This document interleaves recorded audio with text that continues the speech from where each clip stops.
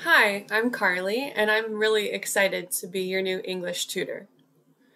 I graduated from Brandeis University with a degree in International and Global Studies, Journalism, and English. I traveled and worked abroad, and these experiences helped me develop an interest in teaching English to speakers of other languages. So I recently got my TEFL certification and began working with ESL learners. I have experience teaching groups of adult students, and now I'm really excited to become a private tutor and work one on one with students just like you.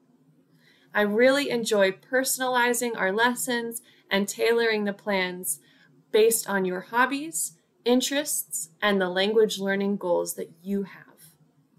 I want to help you build confidence in your speaking, reading, writing, and listening skills while I use the communicative method in a fun and dynamic environment.